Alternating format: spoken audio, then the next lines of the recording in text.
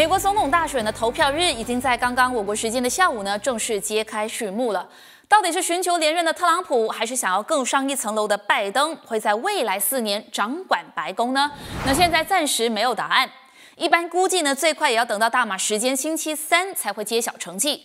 但基于今年美国的邮寄选票是比上一届啊多了几百万张，以及有可能出现的这个选举争议，因此不排除会有延迟公布成绩的可能。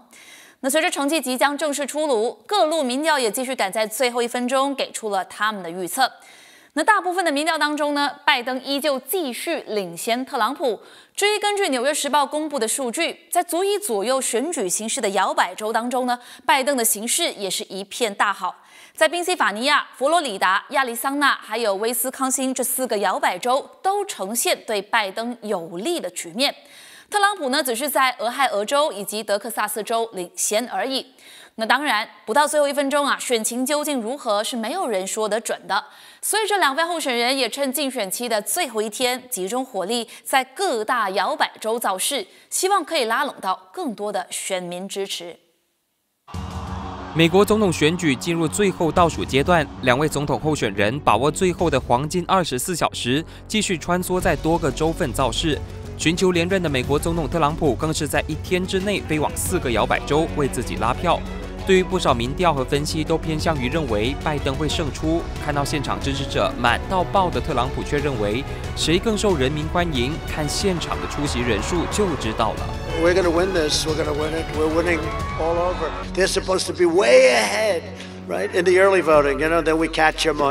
Election day. I don't know for whatever reason that's the way it is. 而在投票日前夕，特朗普的支持者也抓紧机会，在全国各地继续走上街头，为特朗普拉抬声势。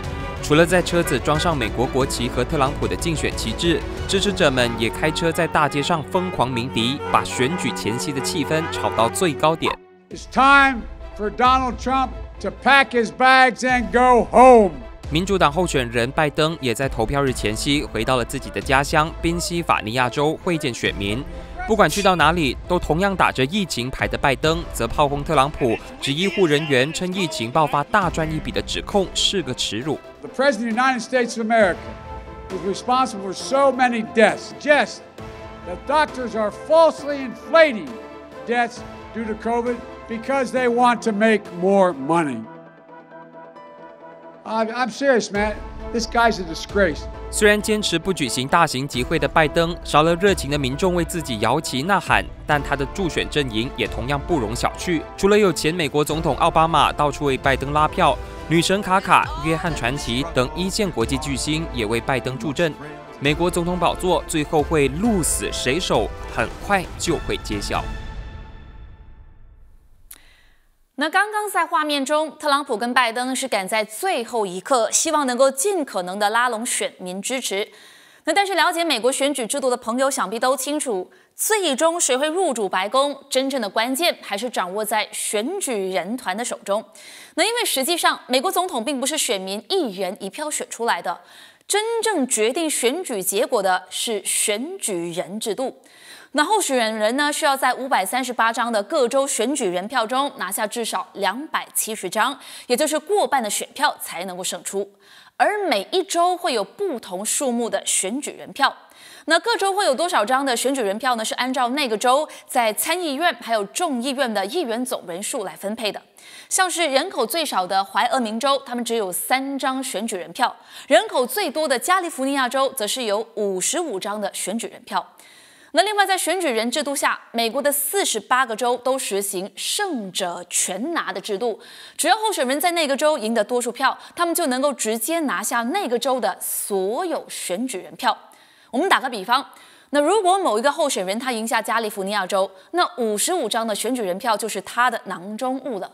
也就是说，按照选举人制度，即使某一个候选人他的总得票率，低于另外一名候选人，他也有可能在没有获得多数民众的支持下就成功出现担任美国总统。